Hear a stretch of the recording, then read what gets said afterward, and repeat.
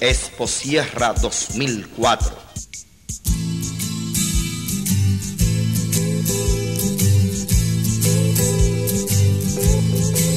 turístico y cultural que durante los días 13, 14 y 15 de agosto se presentó en el Parque Manolo Tavares. Que siga la fiesta.